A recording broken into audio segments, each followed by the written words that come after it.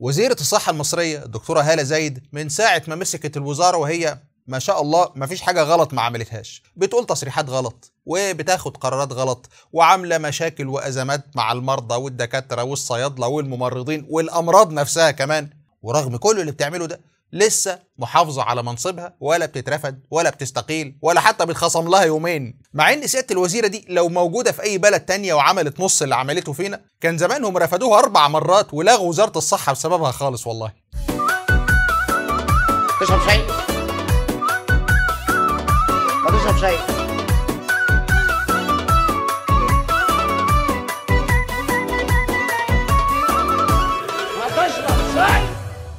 تشرب شاي. خلاص خلاص الله.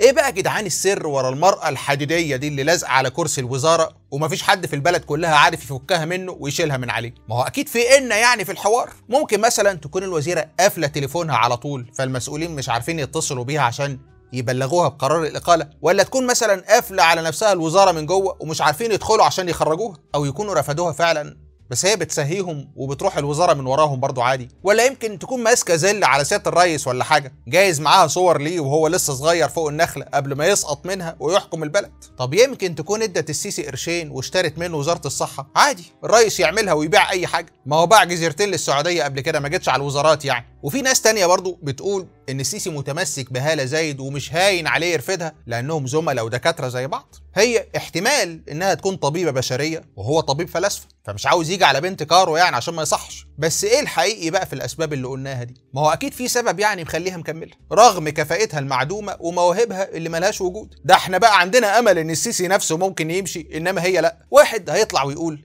طب ما يمكن يا جدعان هي وزيرة عظيمة فعلا وشايفة شغلها بما يرضي الله ومحافظة على صحة المصريين وجايبة لكل مواطن صحة زيادة فوق صحته. بس إحنا مش واخدين بالنا وما بيتمرش فينا. أو تكون هي كويسة بس اللي حواليها هم اللي وحشين أو الاوبئة والأمراض الإخوانية الشريرة عاملين عليها مؤامرة عشان يفشلوها. وجايز برضو الناس هم اللي بيتلككوا لها وواقفين لها على الواحدة. ما هو مش عشان سيادة الوزيرة جت تخلص على الأمراض اللي في جتة المصريين فقامت غلطت وخلصت على المصريين نفسهم وهي مش واخدة بالها. نقوم نصدعها بقى ونقرفها ونقول لها انت فاشلة واستقيلي. والكلام الفارغ ده لازم نبقى موضوعيين شوية عشان ما نظلمهاش. وعشان نبقى موضوعيين بقى فخلونا نبص بصة كده على اللي عملته هالة زايد من ساعة ما مسكت وزارة الصحة. ويا ترى تصرفاتها وقراراتها وإدارتها للأزمة بيقولوا إنها فاشلة فعلا ولا كويسة بس الناس الوحشين هم اللي ظالمينها. الست الوزيرة هالة زايد برضو كان حظها وحش شوية بصراحة يعني. هي كانت قاعدة مستخبية في وزارتها وكافية خيرها شرها زي كل الوزراء عادي بس للأسف الفيروسات منها لله ما سابتهاش في حالها ونكدت عليها.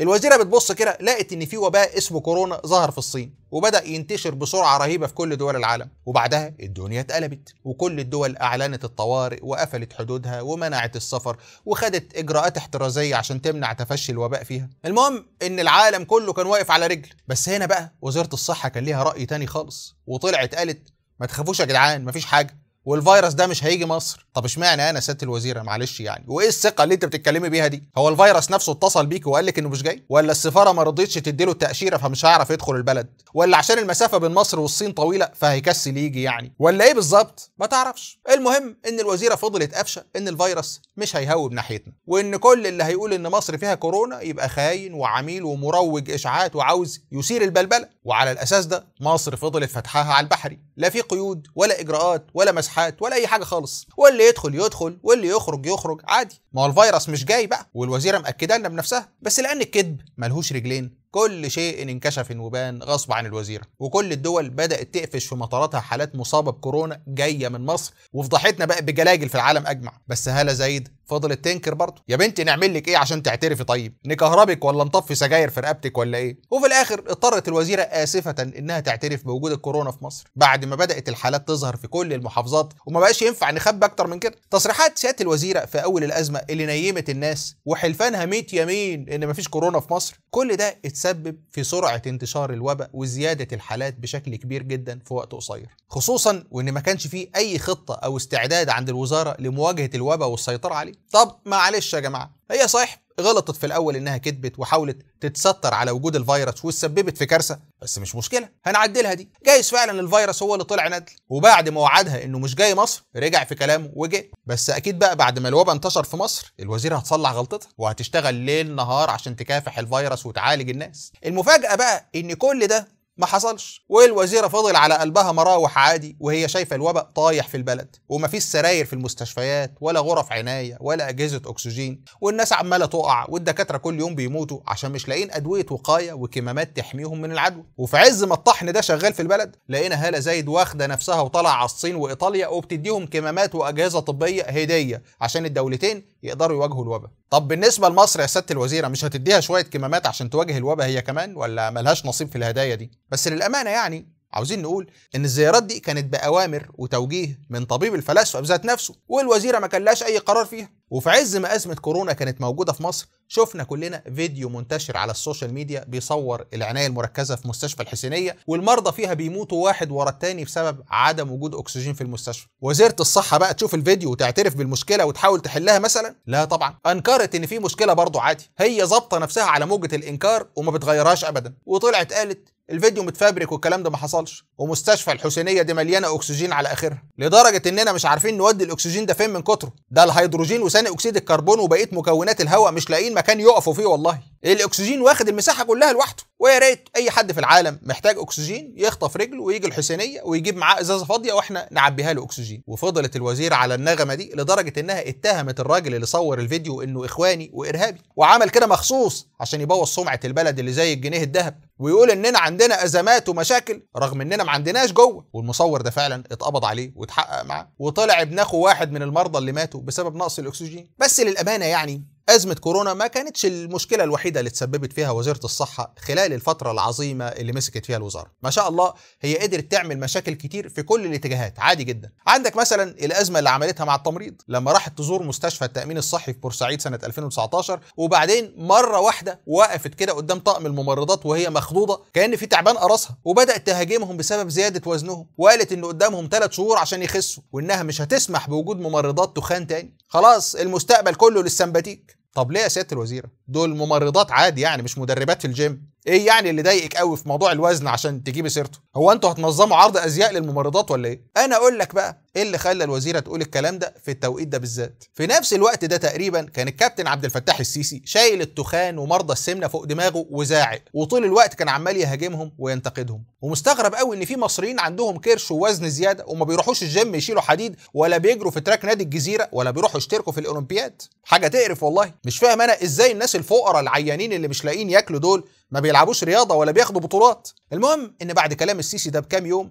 راحت هالة زايد عملت الحركة اللي قلناها دي مع الممرضات في مستشفى بورسعيد. على أساس تقول للسيسي شايف يا رياسة أنا بنفذ تعليماتك بالحرف أهو وبقلدك وما بقبلش التخان ولا بطيق أشوفهم. زي معاليك بالظبط ومش هسمح بوجودهم. حتة تطبيل حلوة كده على الماشي من اللي بتعجب الجمهور عملتها الوزيرة عشان تلفت نظر السيسي وتنول رضاه ويسيبها قاعدة على الكرسي. قبل الحوار ده بخمس شهور تقريبا سيادة الوزيرة كانت قاعدة كده وبعدين لقت إن الدنيا هادية ومفيش أزمات بتحصل ولا حاجة. فقالت إيه الزهق ده؟ لما أقوم أعمل أزمة مع الصيادلة بدل الملل اللي إحنا فيه ده وخدت هالة زايد بعضها وراحت على مجلس النواب عشان تشتكي من إن عدد الصيادلة في البلد كتير وإن الدولة بتجبرها تعمل لهم تكليف رغم إنهم ما لهمش لازمة عندها ومش محتاجاهم. وبعد ما الوزيرة قالت الكلمتين دول في البرلمان ما همدتش وراحت نقابة الصيادلة نفسها عشان تشعلل الموضوع زيادة. وقالت تاني إن الصيادلة ما لهمش لازمة عندها والمنظومة الصحية ممكن تمشي بشكل أفضل من غير وجودهم. وإن غياب ممرضة واحدة عن الشغل تأثيره أكبر بكتير من غياب 100 صيدلي. التصريحات الغريبة والأزمة اللي افتعلتها الوزيرة مع الصيادلة بدون مبرر دي خلقت مشاكل مستمرة بين الوزيرة ونقابة الصيادلة وهجوم متبادل بينهم طول الوقت. تسكت بقى الوزيرة؟ لا برضه. وقفت كده وفضلت تدور على حد تاني تعمل معاه مشكلة. وقالت طب أنا كده اتخانقت مع التمريض والصيادلة. وبالنسبة للمرضى فدول مرميين قدام المستشفيات مش لاقيين سرير ولا علاج. عادي الحمد لله يعني. فاضل مين معانا في المنظومة الصحية ما قرفتوش في عيشته؟ أيوه لقيتها.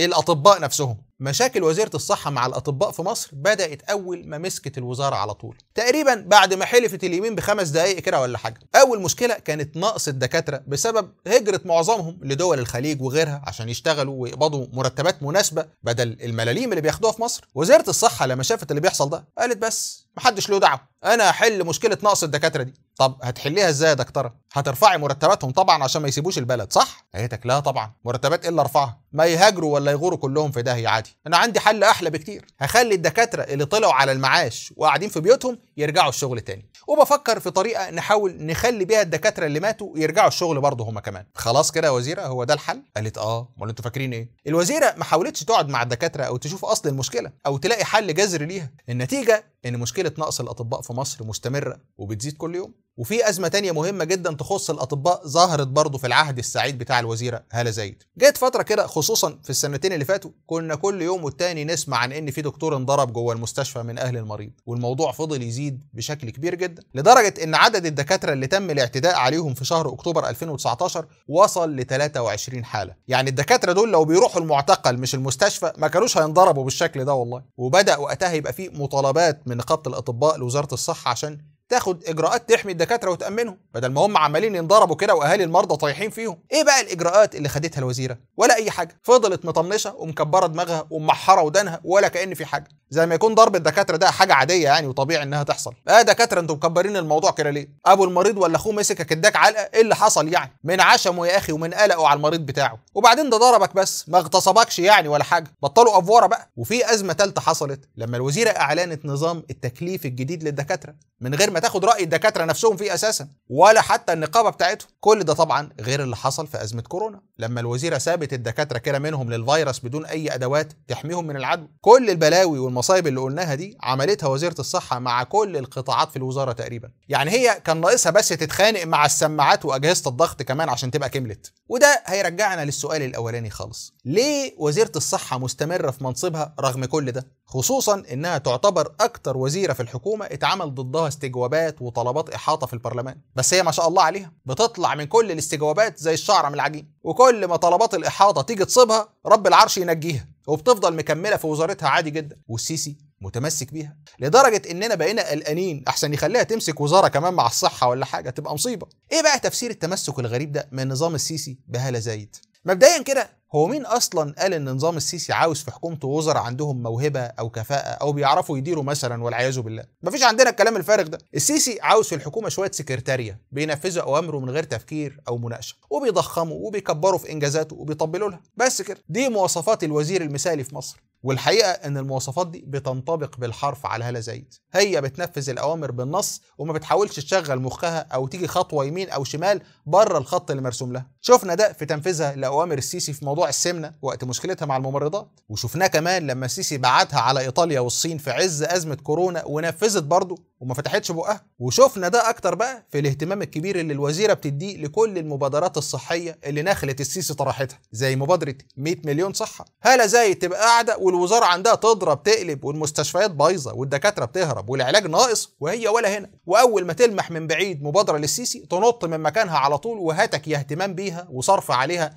من ميزانية الوزارة وإعلانات عنها في كل حتة مع صور للسيسي بالحجم العائلي على حيطان كل الوحدات والمستشفيات. عشان تقول للشعب كله إن السيسي هو الطبيب المداوي وال antibiotic الطبيعي اللي ربنا بعته لينا عشان يعالجنا من كل الأمراض اللي في جتتنا وطبعا دي حاجة بتبسط السيسي جدا وبتكيفه وبتخليه منفوخ على 44 عشان كده تلاقيه ماسك في الوزيره ومش راضي يستغنى عنها رغم كل مصايبها. أصل المصايب اللي بتعملها دي آخرها إيه يعني؟ هتموت الناس ولا هتمرضهم؟ طب ما دي حاجة كويسة. هو إحنا يعني محتاجين الناس في إيه؟ المهم انها بتسمع الكلام وبتنفذ الأوامر والتوجيهات وبتفخم وتعظم في سيادة الرئيس ومبادراته. في حاجة كمان برضو ممكن تكون سبب في استمرار هالة زايد رغم الفشل الخام النقي اللي بتقدمه من يوم ما رجليها عتبت الوزارة. السبب ده ببساطة هو إن أغلب الناس ضد وجود الوزيرة وبيطالبوا بإقالتها. عشان كده كان طبيعي جدا إن السيسي يتمسك بيها ويقرر إنها تستمر. هي دي دماغ النظام اللي بيحكم البلد. عنده يستمر في الغلط عادي جدا حتى لو حصلت كوارث. بس ما يحسسش الناس ابدا إنه سمع كلامهم أو إنه بينفذ طلباتهم أو إنهم لا سمح الله يعني ليهم رأي أو بيشاركوا في قرار جوه بلدهم. لا اصحوا.